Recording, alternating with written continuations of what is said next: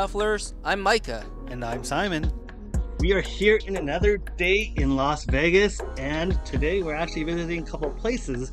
And we are visiting the newly built and opened Resorts World, and then we'll be heading over to one of the newest restaurants over at the Palazzo, which is Xpot.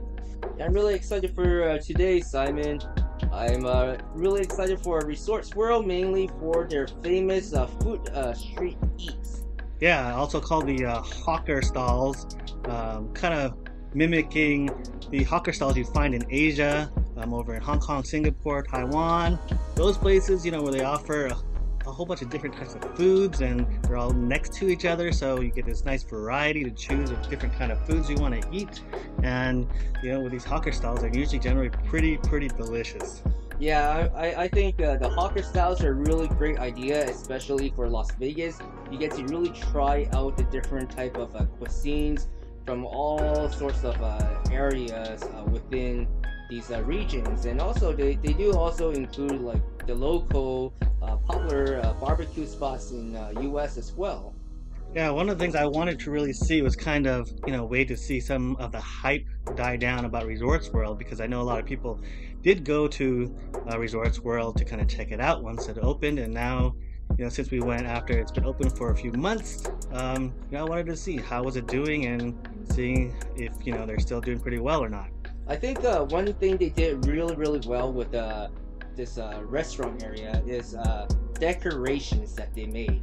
Um, you, you, can see all the bright uh, lit signs that you would see in a, normal hawker area. Also, like the ground. I, I, think you pointed this out, Simon. Like the ground, they did really good with like the little cracks and and also like the stone uh, pebbles. Is that what you call? It? Yeah, I think the cobblestone steps they had. Um, yeah, it was pretty interesting. They put some detail into it, and yeah, when I remember pointing out those cracks on the sidewalk, and I kind of looked to see, you know, is it was it on purpose or maybe they made a mistake? But actually, they put it in there, and you can kind of tell that they they did it to kind of give more of an authentic feel, as if you were actually somewhere in a hawker stalls in Asia. Yeah, and uh, one thing to note is uh, when you do come here, um, there is one centralized location to make all your food orders. Uh, so you make you pretty much just make all your orders in one area, give them your phone number, they'll text you when your food is ready, and then you just go up to individual uh, restaurants to pick up your food. Yeah, it's a pretty different way of ordering, where it's not quite you know that traditional way where you're sitting there and somebody comes over and takes your order, or you go order and you kind of just sit at the register and you know get the things that you want. Um, so it's a little mixture of the new technology and and ordering style. So pretty interesting. I think uh, one thing good about this uh, style is uh, they also have those uh, plexiglass or glass uh, walls where you can actually view and watch them uh, prepare your food for you. And just something to note um, the hawker stalls are not next to the kind of mall area that you see earlier in the video. Um, it's kind of off on its own, um, actually right next to the casino floor itself. And so if you are looking for it, it's not in the mall section and you kind of have to walk in towards the casino and it'll be kind of on one of the sides, um, pretty much in the center of the casino. And uh, as you see here in the video, we're going through the different uh, restaurants and um, ordering the different uh, types of uh, dishes that we had. Um, in this one, you can see like the dumplings. Um, they're from the Achun uh, Shandong dumplings. And for me, I ordered the roasted duck from the Fuhu Shack. Um, you know, it was uh, it was good. It was your typical um, roasted duck. Um, it had a nice crisp skin, um, juicy, uh, nothing to complain about. I really enjoyed it. Yeah, and, and for me, I, I actually had, I was pretty hungry when I came here. Pretty, pretty uh, excited about all the different foods. But I, I would have to say I'm pretty disappointed actually. Um, we went to uh, Boon uh, Tong Kee, which is a very very famous uh, restaurant in Singapore. Uh, they are known for their Hainan uh, chicken rice. I just feel like I got scammed. I mean, this thing is not even remotely close to what Hainan chicken is. Um, I feel like they just cut a bunch of corners. Uh, the chicken is not even supposed to be grilled, and then the rice itself has no uh, chicken flavor either. I'm like really really disappointed with this. Like, I mean the soy sauce. I mean, I, or the oyster sauce. I'm not really sure what that was, but it, it's not how it's supposed to be. You're not supposed to have this stuff here. I I also had uh, the Geylang uh, clay pot rice. Um, that was also very very disappointing. It was just too much soy sauce. Like I was watching them make it in front of you, um, and you could watch how it's prepared and everything. And I saw him just pouring so much soy sauce on it. It's nothing like I could just tell him, "Hey, stop, stop! Don't put any more in." But he just kept going.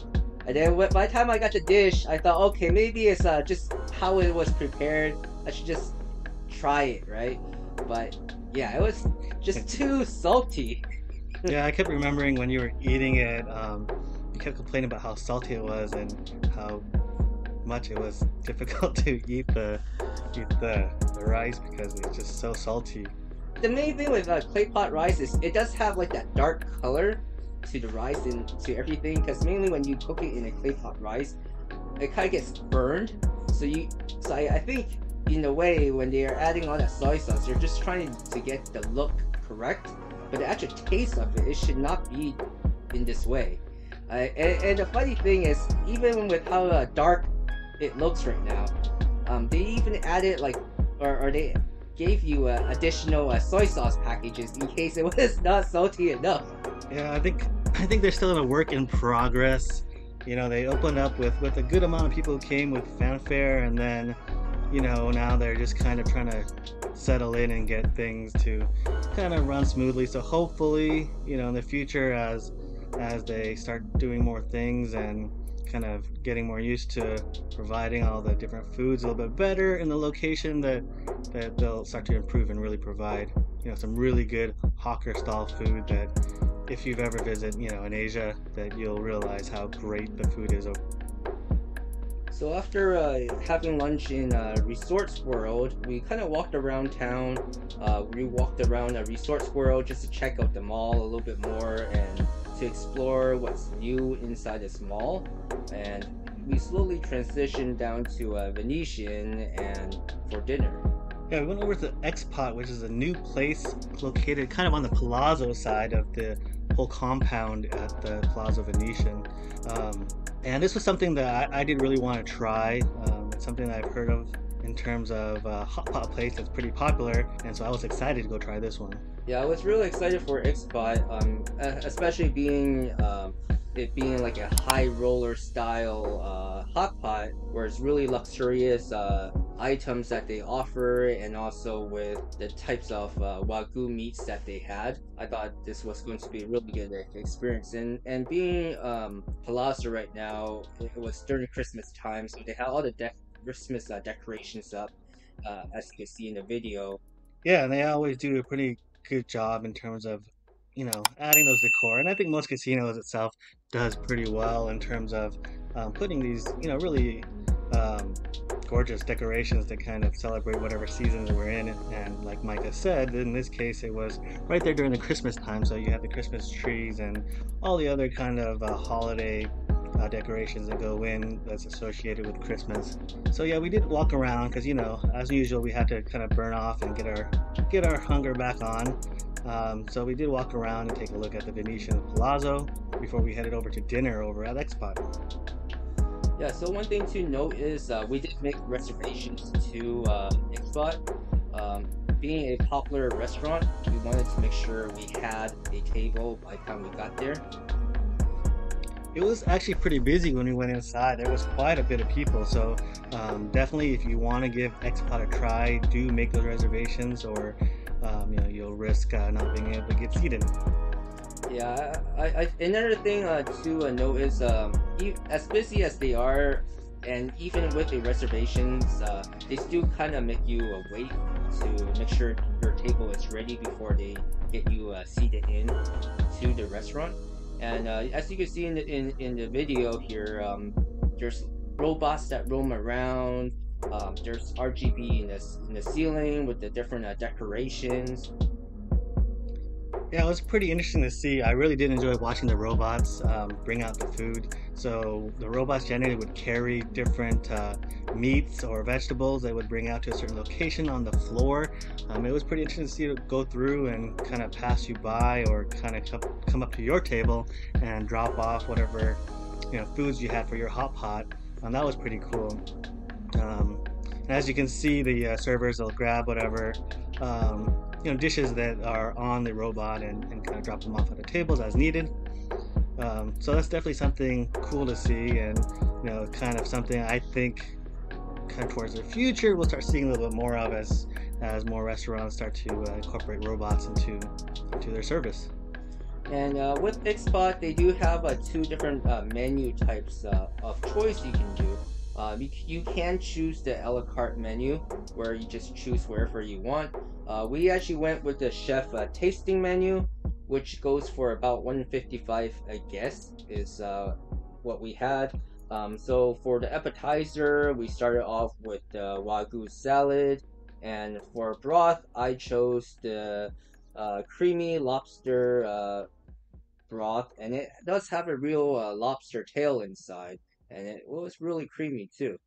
And for my broth, I actually had the golden chicken, which, you know, as as Micah stated, there was actually a piece of chicken bone that was in the broth, you know, to keep it uh, flavored.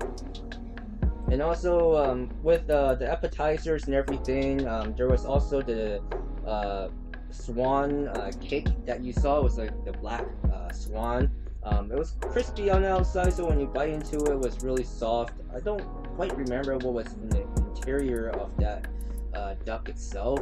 Um, and then as a uh, add-on item, we did add on the Wagyu Feast, which is the golden cow you see in the video. Um, with the Wagyu uh, Feast, um, it also included the filet mignon uh, rib eye with foie gras, um, beef tongue, chuck, uh, short rib, uh, and short rib uh, cube. Yeah, the the add-on is actually an additional twenty-eight dollars to that one hundred fifty-five dollars for the hot pot itself. So just a reminder and just something to note that yes, it can get definitely pretty expensive to uh, to have all these different uh, you know really delicious meats and and food all for this hot pot.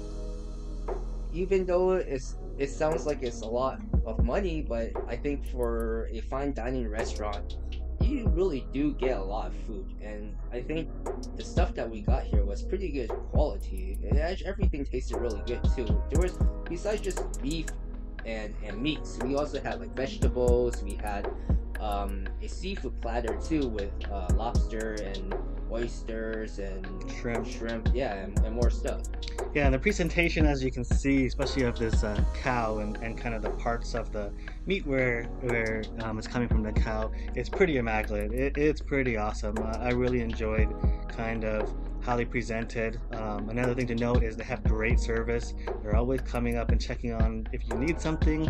Um, and one of the things also is they'll actually come and help prepare some of the items. Uh, one of the things I do remember is for the beef cubes is the server would come with a hot stone and they would actually cook that up for us and then um, let us know when it's done and then give it to us on our plate so we can try it. Yeah, and the server did come by a couple of times and, and every time they laid a uh, new item down on the, the, table, they told us, yeah, you want to cook this for this amount of time, uh, eat this one this way. Um, there are different sauces that they include on the table as well.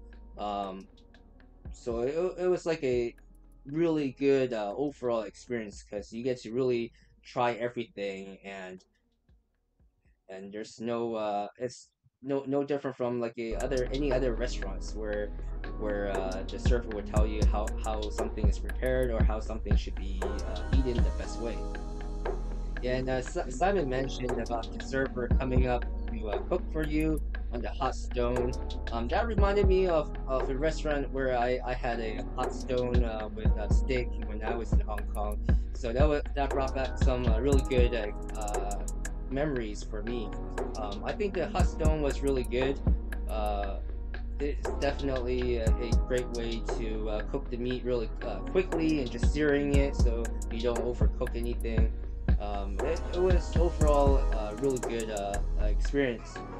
Um, and also, continue on um, on the menu, um, there was an option for entree entree uh, choices within like the wagyu sandwiches, uh, golden wagyu rice with uh, black truffles, and also with the wagyu uh, foie gras bibimbap. Uh, we actually went with the choice of the golden wagyu rice with a black truffle, just something different. And again, the server also with the uh, the golden wagyu rice with the black truffle, they actually prepared and um, dished up the rice for each of us too. So um, you know we didn't have to go in and dig in and grab the rice ourselves, and they did that for us. And since we were shooting everything, and for you guys, uh, they did kind of just watch us as well. So they, they knew how to do the pacing really well too. So they weren't overcrowding the table. I, I very much appreciate that part.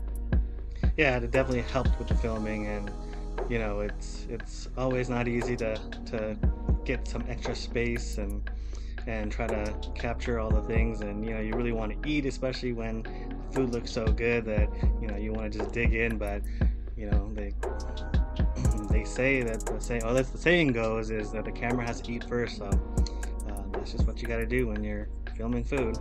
Yeah, and, and as for the desserts, uh, there was many choices. Uh, we went with the crepe uh, cakes, kind of like the Lady M style.